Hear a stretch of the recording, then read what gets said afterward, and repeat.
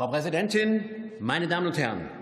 Die Ampelkoalition will heute das Disziplinarrecht für Bundesbeamte ändern. Vermeintlich geht es eher um die Möglichkeit der schnelleren Entfernung von Extremisten aus dem Staatsdienst. Tatsächlich haben wir es heute mit einem Angriff auf Demokratie und Rechtsstaat zu tun.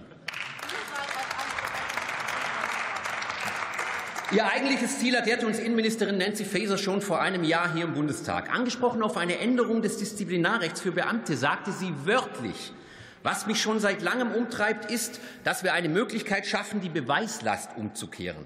Sie ist zwar auf massivsten öffentlichen Druck hin zurückgerudert. Der heutige Gesetzentwurf ist jedoch der erste Schritt bei der Umsetzung dieses autoritären, rechtsstaatswidrigen Traums. Worum geht es? Der Gesetzentwurf der Bundesregierung sieht vor, dass Bundesbeamte zukünftig per Verwaltungsakt aus dem Beamtenverhältnis entfernt werden können. Bislang bedarf es hierfür einer Disziplinarklage vor dem Verwaltungsgericht. Das heißt, die Maßnahme kann nur von einem Gericht getroffen werden. Dieser Richtervorbehalt ist eine hohe Hürde, die den Beamten bewusst vor willkürlicher Entlassung oder politischem Missbrauch schützt. Die Ampel reißt diese Hürde nun ein. Aber sie belässt es nicht dabei. Dem Beamten, der nun selbst gegen seine Entlassung klagen muss, wird der Klageweg so schwer wie möglich gemacht. Sollte er vor Gericht unterliegen, muss er nach dem Entwurf die bis zur gerichtlichen Entscheidung fortgezahlten Bezüge zurückerstatten. Bei einer durchschnittlichen Verfahrensdauer von derzeit rund vier Jahren bedeutet dies, der Betroffene muss sich überlegen, ob er seine gesamte wirtschaftliche Existenz aufs Spiel setzt oder dass die Disziplinarverfügung akzeptiert. Viele Betroffene werden aufgrund dieses massiven finanziellen Risikos von einer Klage absehen. Der formal vorhandene Rechtsschutz wird so zur Farce. Die Bundesregierung nennt das übrigens in ihrem Gesetzentwurf Korrektur finanzieller Fehlanreize.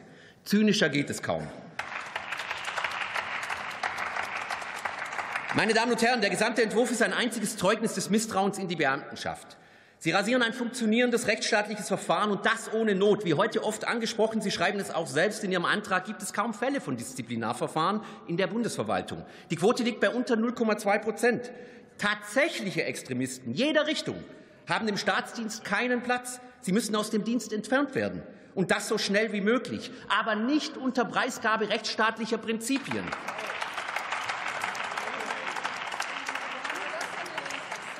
Der Willkür gegen politisch missliebige Beamte ist mit dieser Gesetzesänderung Tür und Tor geöffnet. Dies wird in letzter Konsequenz zu Duckmäusertum und einer Untertanenmentalität in der Beamtenschaft führen.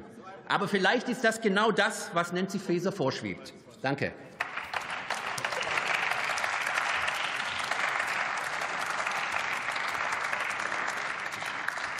Für die FDP-Fraktion hat das Wort Konstantin Kuhle.